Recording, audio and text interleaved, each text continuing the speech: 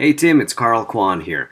So, congratulations on the MacBook Air. So, you're wondering how do you reset it up from scratch? I'm looking at your little Facebook message here. You're, re- you're regretting telling it that you're in Korea. It's actually not that hard. All you got to do is go into the system settings, okay, the system preferences. So, all you got to do is go into there. So, I'm going to do that right now. Okay, so all you got to do is open up system preferences. Then what you want to do is you want to go into where it says language and text. Now I'm not sure if you meant that you set it up as the location as being in Korea or if you meant that you actually set up the language as in Korea.